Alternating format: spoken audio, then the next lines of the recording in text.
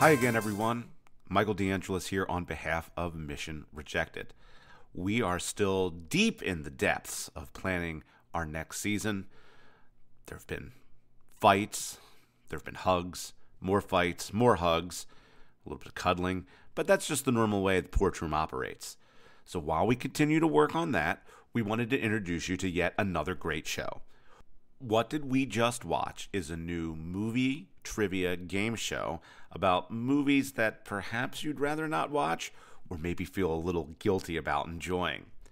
Uh, on a normal episode, you would probably hear the Admiral himself, Bob Killian, as one of the regular panelists. But in this special Mission Rejected crossover, uh, Pete, John, and myself serve as the guest contestants, and we are uh, mercilessly drilled on 1997's The Saint, starring Val Kilmer. So if you love bad movies as much as we do, then we think you'll enjoy uh, us talking about this uh, not so classic film. It's got all the elements that make Mission Rejected fantastic disguises, cold fusion, uh, outrageous Russian accents.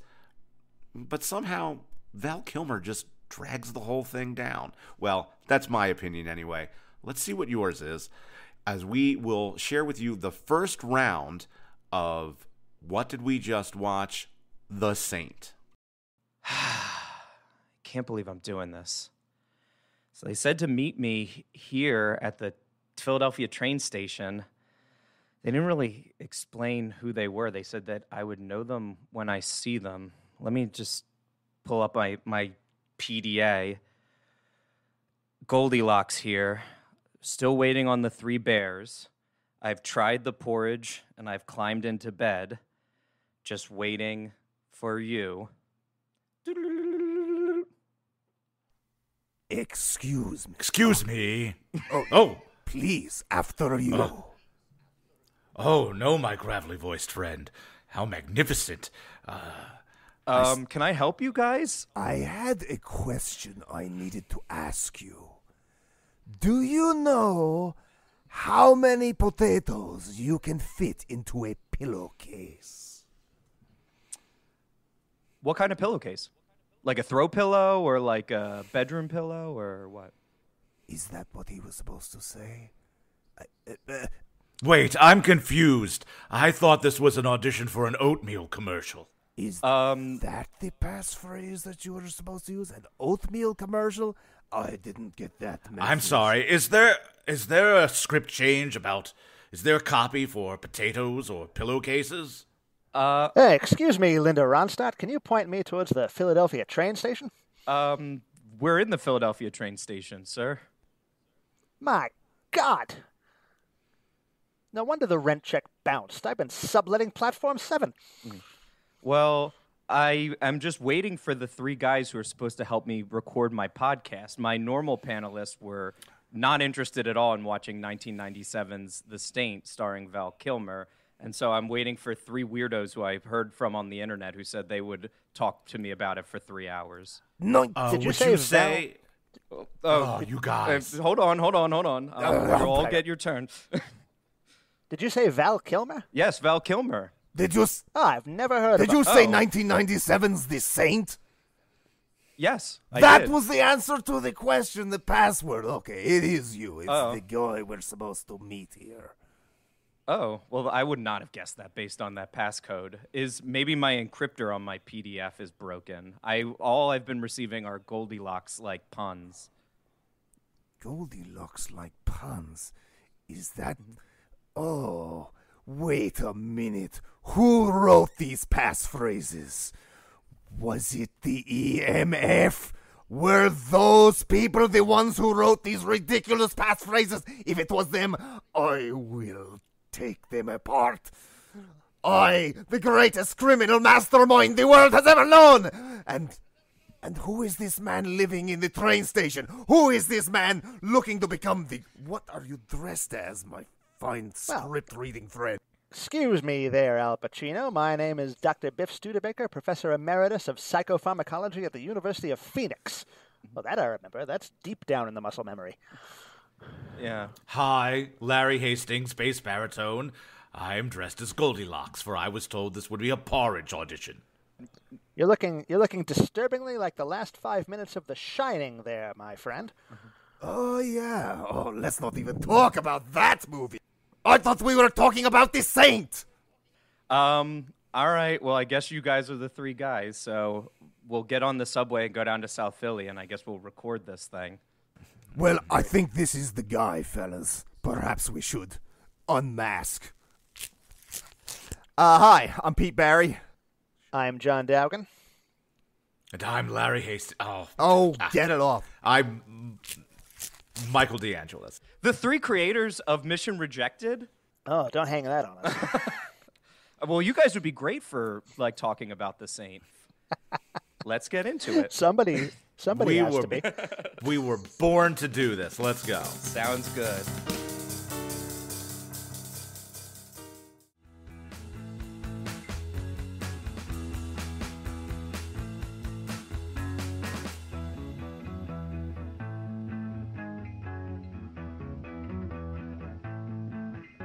Welcome to What Did We Just Watch, the movie trivia quiz show podcast. Today's episode is about the 1997 American thriller film The Saint, directed by Philip Noyce and starring Val Kilmer. In this movie, Simon, the Saint Templar, is a thief for hire whose latest job to steal the secret process for cold fusion puts him at odds with a traitor bent on toppling the Russian government, as well as a woman who holds the secrets. I am your host, Mark Nessel, and our contestants this week are Pete Barry, Hi, Mark. Michael DeAngelis, Hey, pleasure to be here. and John Dowgin. Good evening, Mark. Good evening, everyone. Or good morning if you're listening in the morning. And of course, as always, our contestants are playing for this week's mystery prize, which will be revealed at the end of the show. So, the Saints. Initial so the Saints. uh, initial thoughts. I know at least one of you guys were there at the theater when this came out, if I'm correct.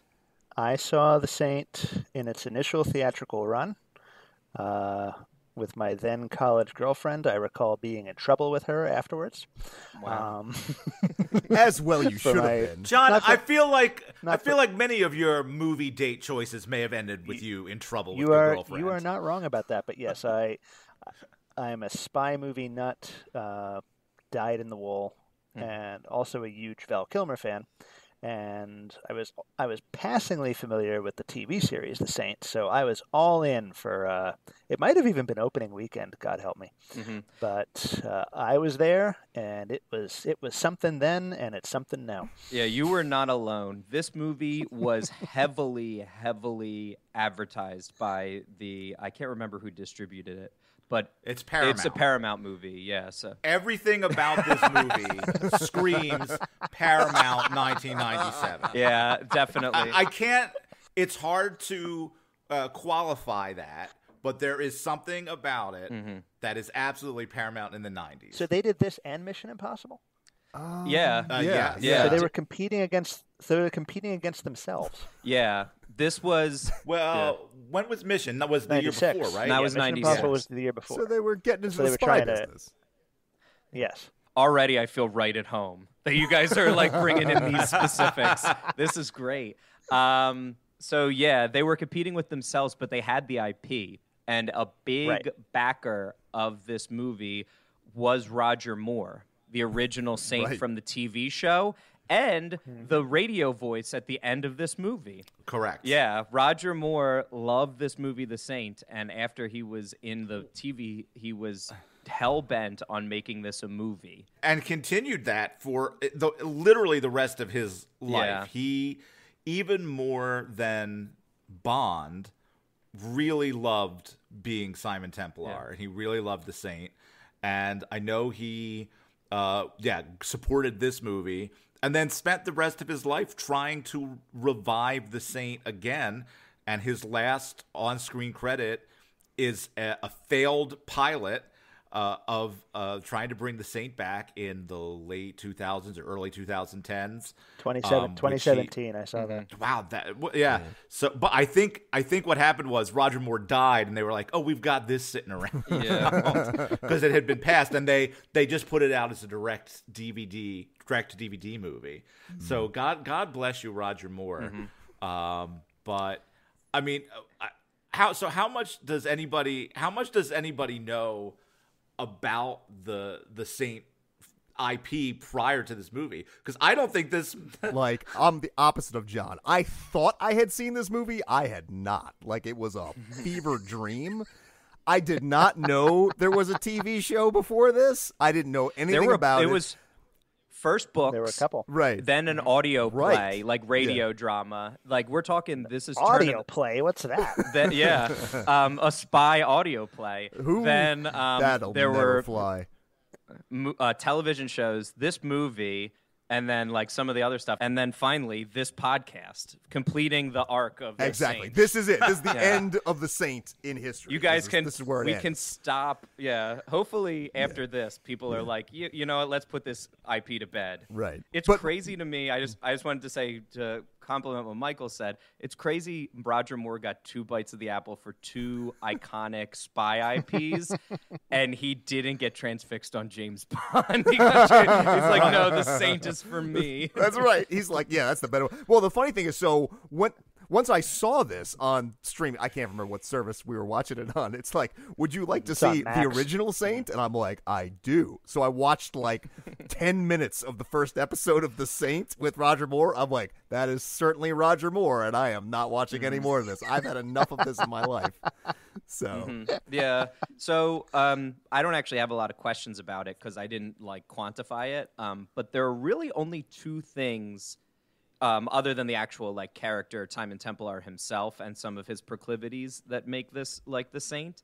The first is the pin at the end Right. that she gives. That was sort of Right. the insignia of like the books and the movies and audio play, I guess, if they had album art back then.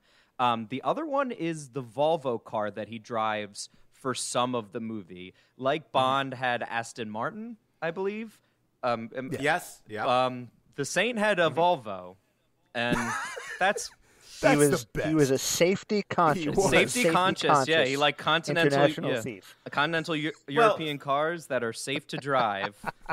I, I uh, what I've seen of the Roger Moore show, um, I've never read a I've never read a Saint book, and I've never heard um, a radio episode, but I've seen a couple episodes of, of Roger Moore uh, in the Saint, and yeah, this is pretty different.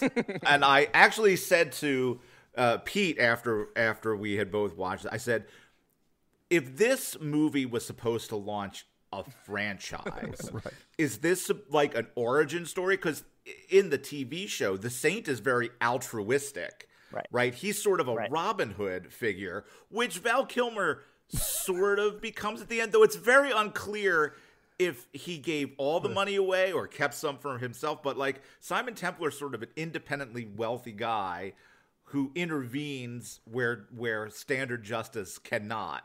like a saint. Uh, you yes, and you described Val Kilmer as a as a thief for hire at the start of this movie, and I went, In "Oh, is that In what theory. he was?" Because I Yeah. I mean, I'm not entirely sure how he got his hands on the guy's money at the end. Like, I'm like, what skill set did you like?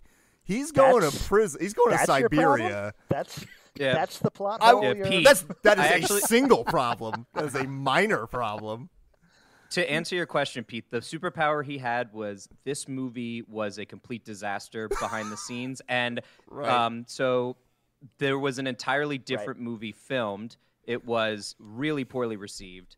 It was months and months of reshoots, thousands and thousands Right. of dollars, and people flying like to and from all these different locales because they really did shoot in Russia. It was like uh, the small window of time after the Cold War that Oh, people wow, were allowed to yeah. shoot in Russia. They shot on location in England, and there were a couple of other like locations. So this was not a cheap movie to make. So it was directed by um, like Philip Noyce, who I said Noyce. before. Philip Noyce Yeah. of the Harrison Ford, yeah, Jack Clear and Present movies. Danger and Patriot Games, as well as a bunch of, including like movies yeah. that deliver. Like I didn't care for Salt, that was like Angelina Jolie, but it made money. Like this if guy you've knows never how to seen make it, a go movie. back uh, late '80s. I think it might even be Nicole Kidman's first film. Philip Noyce made a movie called Dead Calm with with Nicole. Oh, Nicole yeah. right. Kidman, Yeah, That was him. I know Nicole by Kidman, reputation. Sam, yeah. All right. uh, I actually like Sam Neill and and. Billy Sam Zane. Neill. Sam Billy Neill Zane. and Billy Zane. They're- Yeah, and of course we we haven't done it yet, but it's eventually going to happen. He'd also directed 1989's Blind Fury, Another a movie Rutger where Hauer Rutger movie. Hauer plays a blind. Yeah, he plays a blind Vietnam vet who, using his uh, mastery of swordplay, saves the child, the kidnapped child of another. Oh, Vietnam so it's very vet. much it's very much uh, Lone Wolf and Cub then. Yeah, but yeah, but it's Rutger Hauer pretending to be blind in like sort of a comedy action movie. I can only assume. Um, but yeah, so Philip Mm-hmm. Noyce knew what he was doing, and also Val Kilmer was super marketable at this Oh, time, this was probably at the height of his power. this was just From after- uh, market And uh, right after Batman Right. and Tombstone, yes. Um, he hated. It was actually like I think filming order. It was right after Batman, from what I understand. But Tombstone had also just came out, and he was at an emotional low point in his career, according to. I think there was a recent documentary about Val Kilmer. I think they talk about this, where he really hated filming Yes. Batman. Um, I don't know if it was any one person personally, but it was just a real dark time for him. So yeah, this was a pretty low point on Val in Val Kilmer's um, like career personally, and so from what I understand, Philip Noyce sort of just gave him free reign to just do whatever he wants, and so Oh, you can tell. the, according according to him in the most The Island of Dr. Moreau treatment, I see. yeah, Val Val Kilmer was in the most uh, like I forget what the interview is, but Philip Noyce said like I I loved working with him. He's a professional. Yeah. All of the disguises were kind of his idea. That scans. So he he gives Kilmer full credit for better or worse for this. Um, Because the disguises is also not a thing in the Saint. No, I there's a reason I didn't list that in the things that the Saint has. I was, I like I said, my, my I didn't think my list was um, enough to warrant a question, but I did think I did my research. Those two things are the the Volvo and the pin. You take that away, it could be Val Kilmer in Mission Impossible, another one. Or I was. I'm wondering if it was the success of Mission Impossible that led them to try to Hmm. copy some of that. Um, my guess would be no, and the only reason is because I think this movie took more than a year to film. That's And true, so the that's fair. idea that if they were, if it came out in '97 and Mission Impossible, it might have been the only thing I can think of is they were looking at the dailies of this Mission Impossible movie, and they're like, well, it's, it was, um, it's De Palma and De Palma, De- De Palma is the yeah, first and, one. and like Cruise, two guys who almost always deliver, especially at that point. Neither of them had kind of like hit their like the bumps in their career. Cruise would be doing that, I guess, like in about ten years, Mm-hmm. and De Palma had either just got come, bounced back from like the blowout, or no, uh, yeah, it would just bounce back after um, Pulp Fiction and everything like that. Um, It was where- Bonfire of the Vanities that really. I Yeah. think, I, I recall that was De Palma's big. Yeah. Yeah, that and Blowout, another Philadelphia movie. That's Mm-hmm. why I know a ton about Blowout, and people were pretty unhappy with that. But I just remember when um, uh, Tarantino was doing press for um, Pulp Fiction, he talked about how much he loved De Palma, and he talked about how much he loved Travolta, i and in that movie Blowout, both of them. And it really caused a lot of studios to give him a second look. But you're right, he had he had a couple of flops between then and like when he started to resurge again in '96. The Saint is a real weird movie that cost a lot of money and did a bad like did bad at the box office and is kind of like an oddity today, which makes it perfect fodder uh, for this podcast. So I'm very excited to All talk right. about this movie with you guys. Was there anything else that you wanted to talk about? Well, I, so as- as you as you mentioned, uh, uh, I didn't realize though it makes total sense that this went through a lot of reshoots. So now I wonder because when you look at her filmography, this is the movie Elizabeth Shue does after she wins her Oscar. But did she maybe not have that Oscar when this started? Did she win? I don't Did think she win in '96? I'm trying to remember because if it is, I'm al- almost certainly she at least signed this before signed the ink on Okay. this before she would have had that I Oscar. Almost certainly. she. I don't think she. Did she- was she won. just I think she was just nominated? nominated. I'm. I'm. I'm on it. I'm on it. Elizabeth Shue is a very perplexing character in this movie. She was initially in the original movie killed off, poisoned Right. by our main bad guy.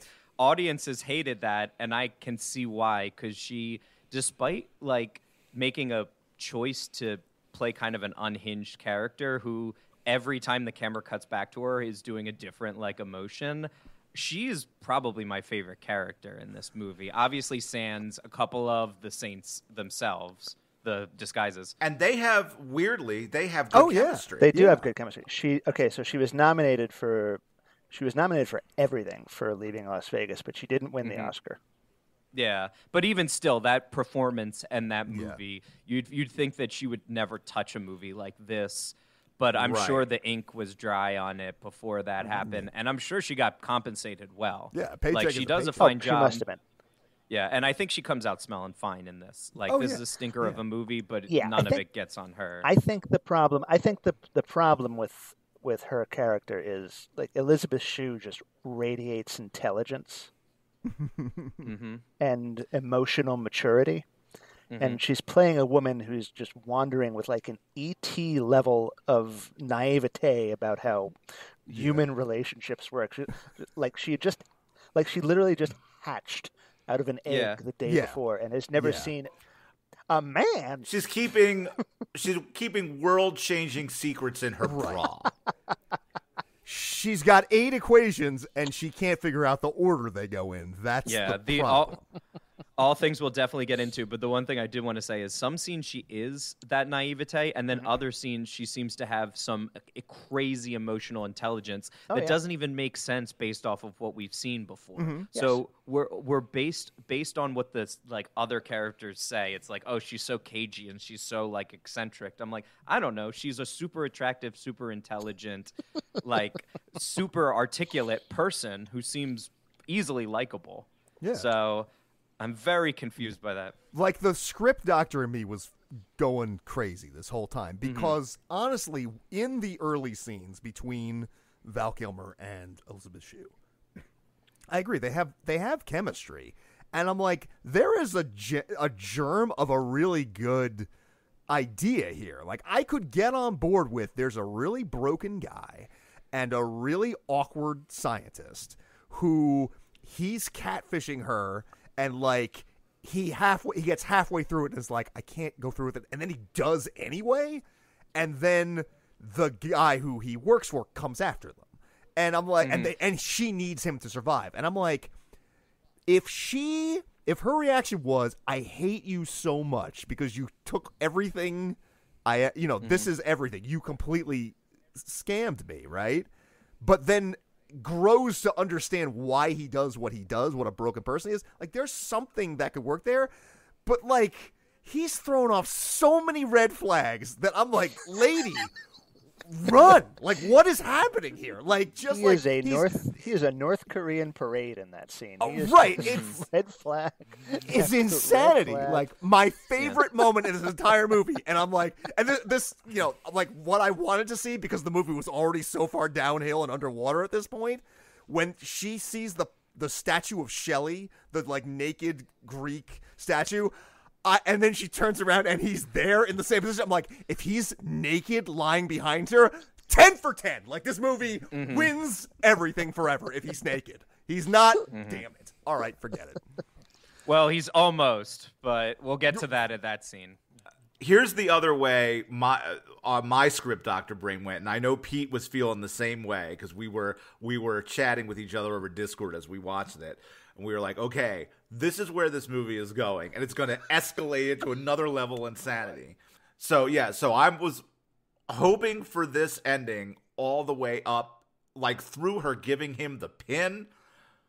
She's gonna turn out to be the little girl who falls off the balcony from the start of the oh, movie, Oh wow!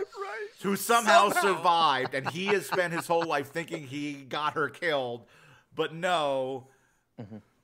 And they'd be reunited. That would have been so. So, so But no. my my script doctor brain thought nothing, nothing quite so dramatic, but I, th- I thought there was, there was like a really interesting movie where like the rest of the characters are even halfway as intelligent as uh, the son, as you know, uh, Euro Right, as yeah. Eurotrash Mhm. Koketovic, and um. Because my favorite, my favorite scene is where they're in the train station. and The son clocks him Mhm. immediately. You mean he clocks him seven times Right. It's him. immediately? Each, It's- yeah. It's him. Yeah. It- Dad, it's him. Yeah. It's him. It's him. Like there's a there's a there's an there's a much better movie where he he where he puts on bad disguises and nobody cares. that would have been great. Yeah, that everyone sort of tolerates him. Right. Um, Yes. yeah. Well, I don't have a, a script doctor mind like you guys do, but what I do have is the time to go over this movie a couple of times and to write a bunch All of right. trivia Oh, questions yes. about it. So, how about we get started on that?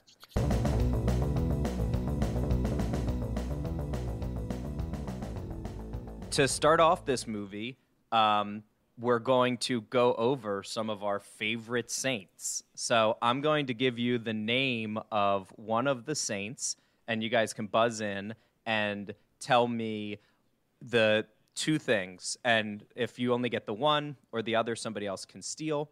Um, the first thing is tell me the first time we meet this saint, and the second thing is tell me the um, sort of factoid that um, Val Kilmer says about the saint, because he is never without a um, a quip or a one sentence Wikipedia like um, factoid about these uh, saints that he likes to personify.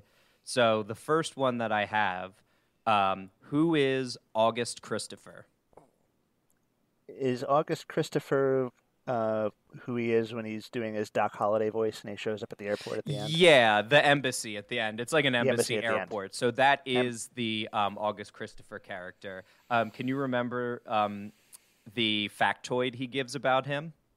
I cannot. I, I I zoned out when I realized he was just doing his Doc Holliday voice again. Yeah, no worries. Uh, d- That was in fact August Christopher's thing. He was Doc Holliday, so that's yeah. Uh, No, he had another thing to say. Is- Does is anyone it- remember? Michael. uh, is it that Saint uh, Christopher is the patron saint of the lost?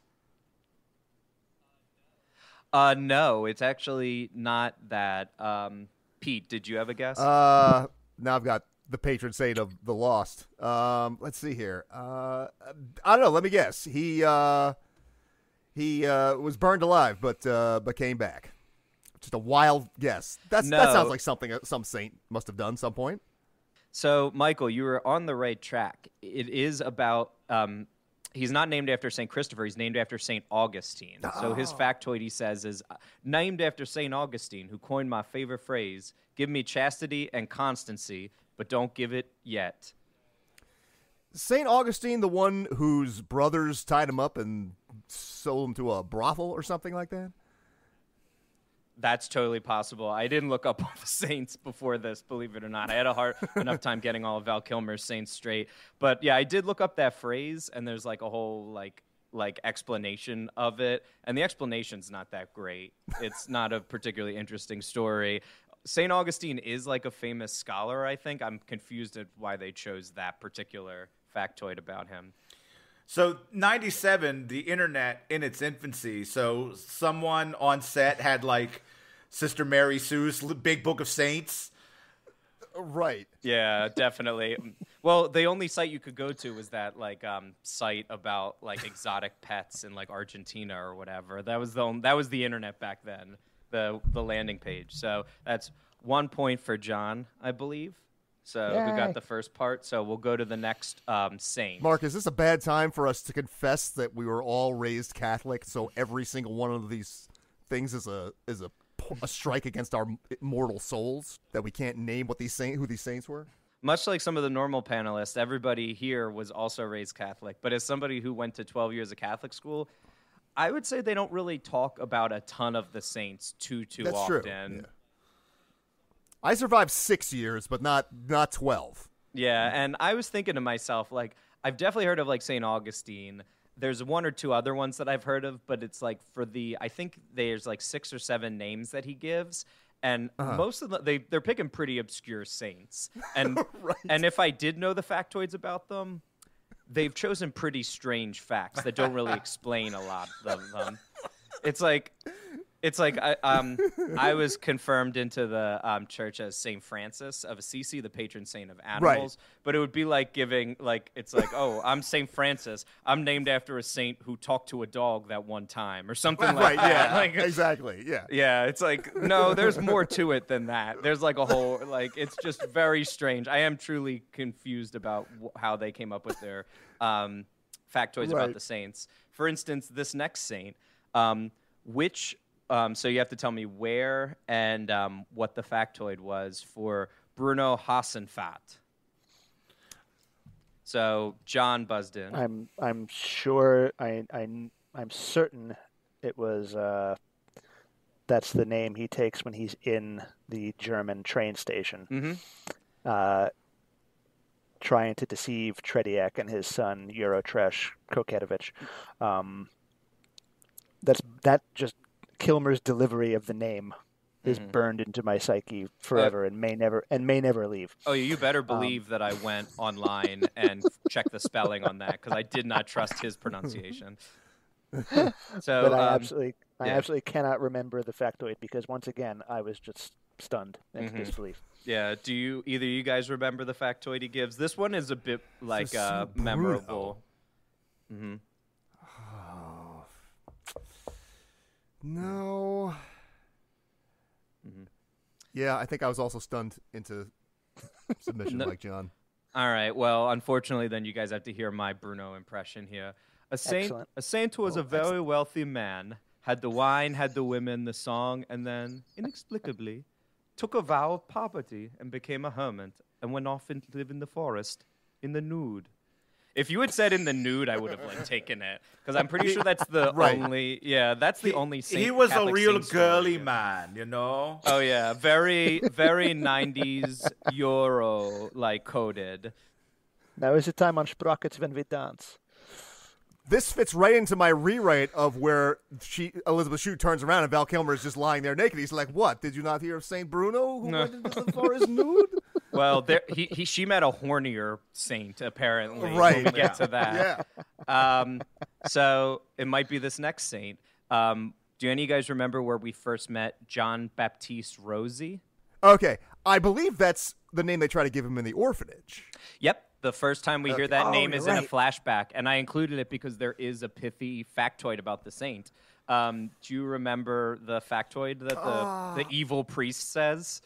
This is the only one I'm gonna get. Like the pre, I, I'm not sure I'm gonna be able. But yeah, the evil priest is like, "You're John Rossi. Say your name." Uh, I'm gonna go for a wild guess. At be was he was he uh, was he tortured? Was it was was he did was someone trying to get something out of him? Uh, no, I'm Saint sorry. Rossi, Does, that- Saint John Rossi? No. does somebody else want to give that a try? Yeah, I'm not gonna get it exactly right, but it had something to do with his with his wealth. Did he give away his wealth? He's like That's a- exactly right. Yes. right. Again, Um, because this movie wants to be the origin to a Robin Hood esque franchise that Mm-hmm. will never materialize. No, so he says, You're named after John Baptist Rossi, a, Capuch- a Capuchin priest who gave away all his possessions. And that it's like, and I'm surprised every time he stops talking, like lightning bolts don't like shoot out from behind him or something. He's like a true evil Catholic priest in this. Like, um, so we've got a couple of more. s- Oh, sorry. say Is it weird that capuchin? The only thing I re- for, uh, associate Monkey. the word capuchin with is monkeys, and I'm like, he was a capuchin, but he was like a monkey priest. Like he just was. Yeah, he gave away all of his. he was bananas. a monkey. That's what I should have said. Oh yeah, the thing about John Baptist Rossi, he was a monkey. Yeah, he gave He his loved life. He loved his. He loved strong coffee. He gave his life serving medical science. That Capuchin monkey. Um, that's Capuchin why, monkey. and that and that's why we've canonized him. Um, so the next saint that we have is who is Vincent Ferrer? Is that his persona when he's on the plane? No, I'm afraid ah. that's not. Do one of you guys have a guess? It's Vincent. I'm gonna take a wild guess because I can't remember. That seems most likely to be the catfishing Elizabeth Shue persona, but I don't think I don't know. Where was She- she that? call Vincent? He's- oh he's when, cap- when oh Oh, when in he's in when he's the the the y- you know the uh, the, Percy horny. Shelley. Yeah, yeah. No, that's not him No. either. Okay. Nah. Uh, do you have a guess, John, or no? So Vincent Ferrer is the name that he uses when he's returned to Moscow in the Moscow hotel. When Elizabeth Shue confronts him, she's, it's Vincent Ferrer, named after a saint who betrayed his f- best friend. Which they're not That's best right. friends. They they don't know each other. If anything, like she doesn't know anything about him really. Um, So no no one gets points for that one. But this next one, um, you knew it was coming. So ready your buzzers. Who is Thomas More? No. John. All right, so Thomas More was the name he was under when he catfished her at the Shelley statue. The, sh- and the Shelley I Monument. remember. he- Yeah. was his factoid just that he was martyred for his faith, or was there more? Yeah. a a saint who died for his faith. Yes. Like um, The South Which African- gets her so hot. Let me Yeah. tell you, there is Yeah. one way into this girl's pants, and it's martyrdom. Yeah, so believe it or not, there are a couple of disguises that Val Kilmer dons in this movie that are not saint based. So, to mm-hmm. buzz in for this, can somebody name the three non saint disguises that Kilmer utilizes in this movie? Michael? All right, I, I'm going to take a wild guess. The his old man scientist character that he uses twice in the movie, the Euro trash Russian guy on the plane. When he's No. with no, okay, So, somehow I didn't include No, that. he- I remember- guy. Oh, I remember that one. So the reason is um, Martin DePorres was on here, and I accidentally scrolled past him. So Ah, okay. I'm going because I didn't include Martin DePorres, a Peruvian saint who could Well- cure the sick and injured by the laying of hands. I'm going to give you another shot at that Okay. because I should have included that. And I my apologies to Martin DePorres stands out there who were waiting with bated breath for him to be included, and So- somehow Mark made a mistake. So. You got one of the three so far. There are two Uh, other disguises. the Russian at the top of the movie. The Russian at the top of the movie. So his yes, his yeah. first disguise. Stealing them. He's like the Yeah. the security guy. Yeah, there are a couple of Russians ones. Those ones all count kind of as one. And so, can you name one more? Because there's actually four. Because I actually didn't Okay. include the Russian one, but you're absolutely right. The many Russian disguises that he wears, nondescript Russians. Um, and actually, there's two. Clearly, I didn't think of all. There's there's um, there's, three more. There's I three was more. thinking, named- I was thinking yeah, there's, there's three more. more. Yeah. Yeah, so actually, if um if you can get one more, I'll give you the points, and then either of you guys can come in with the other ones. Uh, Okay. I don't so, think so. So um, you got two. Let's see. There's three more that I can think of. So we've already said the nerd character. We've already said the um, the various Russian disguises that he put on. But I can think of three more that he comes on. I think John is the next one buzzed in. Oh, oh, oh, God! I just thought Uh, of one. Sorry. Well, we'll see how it Yeah, shakes we'll out. I see if normally it give shakes people out. points. Yeah, like, Well, no, see. go ahead. a- Let's yeah. see. Maybe, I might be overthinking it. After he jumps off the roof with the at the beginning with the microchip, he becomes the drunk Russian guy in the street, and then immediately That's and then immediately ditches that for the uh, the photographer. Yeah, the red, tourist touristy disguise. photographer in Yeah. Red Square. I was kind of considering that one. Okay. So yeah, you definitely got Are we? one. We're considering we're considering when he actually dresses up as Tretiak as the Rade Serbedzija character. Yeah. Yep. And then there's one more that it's it's hard for me to not like like uh, try to get you guys on because it's a, it's an important scene in my opinion. It may only be a couple of seconds long, but oh, it's, it's um, to me. it's the Mrs. Doubtfire moment when he's the when yes, he's the it's the. Mrs. Doubtfire for- moment. Oh my god. Get away from us, witch. Imagine the gall. I mean, he also like as you pointed out, he also wears a bunch of Mm-hmm. like kind of the same Russian disguise, but the three that I had written down were the nerd character, uh, Trechkiak, Trechiak, and then the Russian maid. And So then I there are these think- a lot of like nondescript ones. I think I've got one more, and it's a unique. Oh, wow. It's a unique one because he does not go in disguise.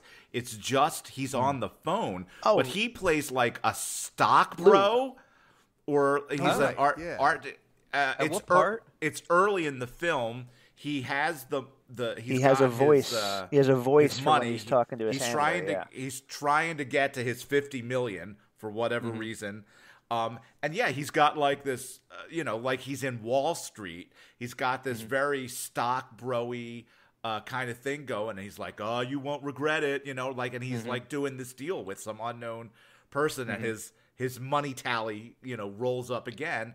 And I think it's at that point he goes, just can't get to Yes. fifty million. Yeah, I, I was looking for when he actually like puts on the fake mustache and like the the dress and stuff like that. But yeah, he does a lot of voices and disguise. He really leaned on his Juilliard um, training in this movie, really classical. So um, yeah, I think each of you guys earned a point for that. Sorry, Pete. Um, but um, that we've got. Um, so I wanted to introduce some of the characters because obviously we'll be talking about them. So let's actually get into the movie. So I've got a couple of questions right off the bat. We open up. Um, does anybody remember what the opening like card thing Oh, says? or the uh, op- it's yeah. unforgettable. okay, and we'll, we're gonna have to go with Pete because he buzzed in first. This was one of my favorite things. It is. Uh, it takes place in. Do I have to say them in order? It tells you where and when. It tells you. Yeah, whatever. Yeah. It took place yesterday, uh, and it took place in the Far East. Uh, it's it, the producers really wanted to let you know that it took place within this very specific 24 hour period, and somewhere on the largest landmass on the planet. yeah, I guess. And again, they they don't sound English. So I was like, oh, the far east of No, like, right? y- the U.S., like in New England or something like that. There's like, I think I think like two Asian kids in that orphanage. I don't know what is It's going on here. Some sort mix. of cor- uh, like There's- Mm-hmm. there's- colonial. I don't Yeah. know what it is. I don't know if it's supposed to be Nepal or Vietnam or something. And I believe this is actually another part that's accurate to the saint mythology that he was raised in the East. Um, right. uh, I don't think the stuff about the Catholic school is, is any part Yeah. of it. There's a bunch of uh, Asian boy students, but I don't, I don't think there are any Asian girl students. Um, Yeah. But it's a, clearly a mix, and clearly, right? It, the the impression is that Mm-hmm. it's they're orphans, right? Yeah, Yeah, well, they're yeah, definitely orphans. So, my next question is Does anybody remember the name of the orphanage? Ooh. It's like Saint, like Saint Bastards of the Saint Bastards of the Damned Children. Well, uh, that. Whatever you're coming up with is a better title for a movie than this Yeah. was. So, J- John, that would have been the title if the priest had his druthers. We haven't in- really introduced him yet, but no, it's got a more traditional Catholic orphanage um, name. The name of the orphanage is Saint Ignatius.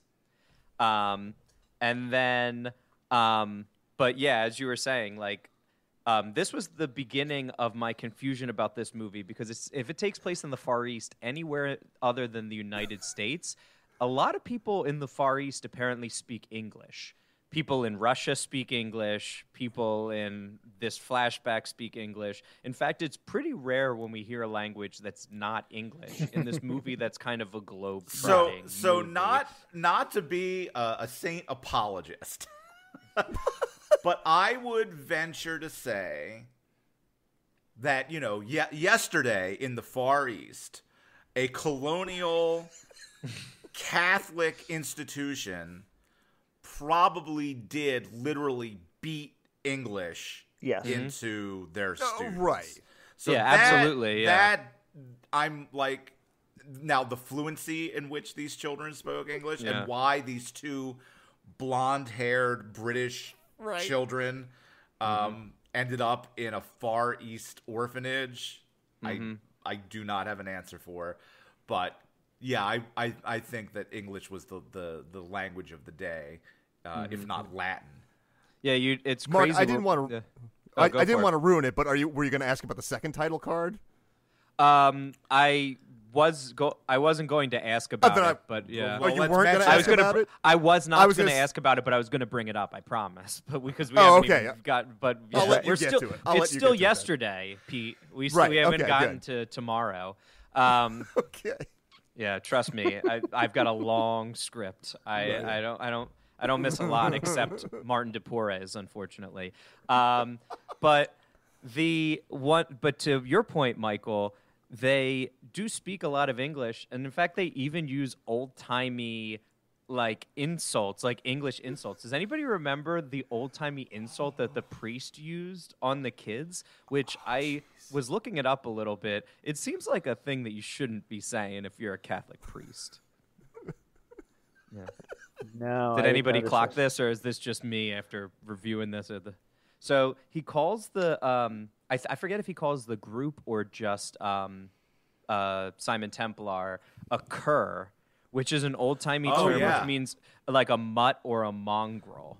Which I do think is very specifically. do like, remember that now that you Anglo, say it. like English. Yeah, yeah. So again, not only is this It's- guy speaking, yeah, It's Which you- Shakespearean, yeah. yeah, these Yes. guys, this priest hates kids. Like this guy doesn't just like he's not a tough love guy. He's like nothing would bring him more joy is just to murk these kids. It's like truly again, I I didn't go to Catholic school when like my dad was when and my mom was when like there was corporal punishment, but I Right. even the old nuns and the old priests who were like kind of a vestige of yesterday who were like still teaching seem to at least kind of like kids like on some level this this guy hates kids you'd think you could get a transfer or something like that He, I think this probably is his transfer. This is Oh, like yeah this is like get this guy out of here. Um, Yeah. We gotta gotta send him to the far east. Um, uh, he I was in also- the east but they like sent him even further I was impressed. Something that struck me is, uh, you know, he sends all the girls to bed, and then he puts all the boys in the cafeteria and locks Mm-hmm. the food in a cage, and it is the Mm-hmm. most luscious looking meal Yeah. Oh, that yeah. any Catholic or orphanage has ever served. like was that like an entire week's worth of food that he put in that cage and why would you store food in a cage In a cage. where humans can't get to it but mice and any other vermin can get to it like get I think he was hoping for that. He was like, Yeah. "That's part of the punishment." It's like you're gonna watch the mice eat it, kid. yeah. I actually thought the logic there was uh, to let them smell it, I guess but that might Yeah. just be like smell what You you, must- can. the glove. It really came across in this movie. I'll say that the uh, the Uh, plan that was being that was hatched by this priest as to why the Mm. food was in that cage. Yeah, well, anyway, we start to get in this like scene a glimpse at our buddy or uh, Simon Templar, who we're going to be following around. He won't acknowledge his name. He instead takes the name of, um, I guess, like a a magician in like Catholic lore. Um, he does some quick sleight of hand pickpocketing, and he's able to free all the food from the cage. Then he puts on a cape, which is some like iconography that he never utilizes later or anything like that. Um, it's great. Like as he's coming up, all the all the boys are like going like food, food, food, food, food, food, like as if they had rehearsed it or something like that. It's Like, such a bizarre. it is such a bizarre moment because he hasn't done anything yet, and they're like, No. do they know he's going to do it, or are they, are they like begging him to say I'm John Rossi, or it doesn't make any sense. Now the cape thing, which made me howl with laughter, Hmm. right? He's wearing a cape as if he is Simon Magus, the Mm-hmm. magician. Um, but it has the red cross of the Templar Knights, the book that he is Right. reading Mm-hmm. shoved into his into his Bible. And I love that the priest is angry. How dare you read this other piece of Catholic literature, Mm-hmm. um, and not your little big little boy's big book of saints? Um, uh, yeah. so it's very weird. I mean, they he took a moment, right? He freed the food, and everyone's like, "Let's go save the girls." And he's like, "Yeah, one sec. I'm just gonna get uh this sheet. I'm gonna paint uh, a Knight of the Templar cross on it, and then we're gonna go to this uh, caged area." There's so many cages in this orphanage. this orphanage is like built like a zoo. There's just so many like Except where what part is not caged? The part you could easily plummet off of. well, you don't need a cage where there's Railing- railing. railing kill like, Right. that- yeah. Yeah, the only things that aren't in a cage are the dogs, presu- or presumably there's a kennel somewhere else. So they they go up to rescue the girls, and um, I actually don't have this written down. Does anyone remember the name of the girl Oh, yeah. that he like? Uh, Uh, is it Agnes? Oh yes, Agnes. Yeah. Yes, Agnes. Again, a character who seems to have a bigger impact on him than Elizabeth Shue for most of this movie. And that's Like, why Elizabeth Shue should have turned out to have been Agnes. Maybe she has amnesia. She doesn't remember what happened to her. That's in the sequel they were planning. Yeah, may, uh, or maybe it's a situation where she doesn't recognize him, and but then when he shows his like tool, the like tool that he used, like it would have been a reveal or something like that. Somebody get Philip Noyce on the phone. We fixed this movie 30 years Nah. later. Yeah, we're too I mean, late. is it- the only thing we could have to do is rant like- about it for a few hours. Like I know I'm thick sometimes when I'm watching movies, but this was the part that confused me the most. Mm-hmm. Is he like is he caught at the end of this scene? Like it's kind of just like she falls to her death in the middle of the escape, and then it's like okay, and then that scene's done, and you're like. So are we led to believe that he then escaped, or that they He caught tell, him and he then says he it to her later on and later. when he's recovering from uh, from f- almost freezing to He death. does. when he- Okay. I think he doesn't realize what he's saying. He says, "Now, what Right, He, He says she died, and then I escaped. Now he doesn't. He doesn't necessarily. He doesn't. Oh. Okay. I didn't even catch that. necessarily Yeah, but I believe you. It was the same night. Like at some point, he. Right. Mm. Yeah. That Yeah. again was information we would see brought out in the sequel. hmm Yeah, I have I have written down here. Somebody's going to jail for murdering that No. girl, right? Like Not in No, the that's- nobody, East, no, not no. yesterday. First of all, uh, I mean, who, Yeah. who, Not yesterday in the Far East. yeah. Who Oh, really dog, yeah. killed her? Right? It's the dog, right? The priest lets the dog. Well, that loose. dog is Your going right to the Honor, chair. like, like you're really, you're really like arguing for this guy. I, I, I do think that it was the priest's fault, or at least the movie makes like leads us Right. to believe that. And so nobody like that child had no family. I'm Yeah, I sure guess they you're right. they probably beat young Val Kilmer. Mm-hmm. I'm sure they blamed him, beat him senseless. And then, uh, you know, for all I know, they threw him out into the, the, the wilds of, of the Far East, and he raised Mm-hmm. himself. Oh, like Batman Begins, and then he like Yeah. yeah. And then he had to go even further east until eventually, eventually, so eventually, he- he was in the West. Yeah, and well, eventually he kept walking east until we make it to Moscow tomorrow. But actually, that's the end of the first round. So at the end of the first round, um, we've got John in the lead with four points, followed by Pete and Mike, who are both tied at two points. Um, so I we can can't keep- believe I have that many. I can't either. I think you gave me a little boost from Agnes, maybe.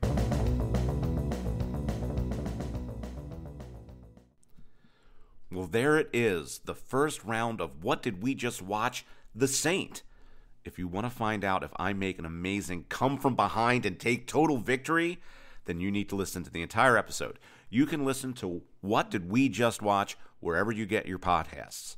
Uh, other movies that they have recently uh, tackled include Demolition Man, The Masters of the Universe, and Return to Oz. Nightmare fuel for any child of the 80s. Anyway, I hope you've enjoyed this little uh, dalliance into the world of Val Kilmer. We'll be back again next month with who knows what, a little holiday cheer. And 2024 is just around the corner with all new season of Mission Rejected. While I have your attention, I want to make a quick plug for our Patreon. For just $1 a month, you can join our Patreon and get all of our episodes in advance and ad free. If you join at higher levels, there's also all sorts of other perks, including bonus audios, dossiers, and the chances to interact with the creators and the cast. So do check it out at patreon.com slash mission rejected and you can get ad-free episodes uh, two days before they come out to the general public. I hope you're all doing well. We head into the holiday season. I hope that you are safe and with your families, and we will see you again real soon.